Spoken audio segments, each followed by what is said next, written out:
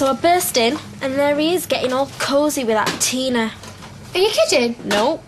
Two of us on the go at one time. Can you believe it? Uh, of Tommy Duckworth, yeah. Do you know, you tried out with me once. Never. Yeah. And you knew I was going out with Sophie. Had a right go at him, didn't you? Oh, I better watch my step then. Only kidding. You are a looker though. You could be a model. Give over. Let's all go out on the Raz tonight. You can stay over at mine after now I've got my own place. Great. Uh, hello, I'm saving to pay my dad back, remember? Oh, boring. Yeah, and I've got to be up in the morning. Yeah, well, I haven't, so you can count me in. Okay, cool. What? I am on holiday? I wish you was coming with us. Yeah, well, I can't go blowing my dad's money on a night out, can I?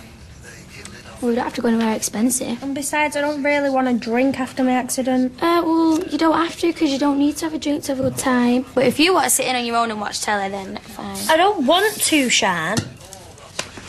Well, what is on telly then?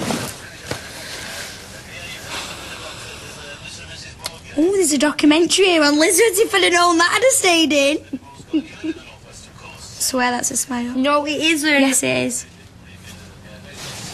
Hey, this is what I've missed, you being all relaxed and enjoying yourself. right, I'll come.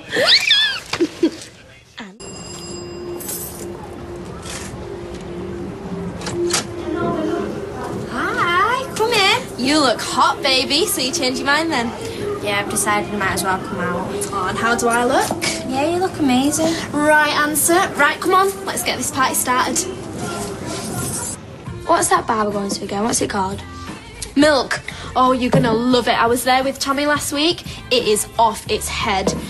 It reminds me of this place I used to go to in Clerkenwell when I was at uni. Oh my god, we had some mad nights out in there. I'm telling you, talk about lost weekend. Oh, I. Oh, what? I love that dress, Amber. You got great legs, you. Ah, what do you think of my footless tights? Mm.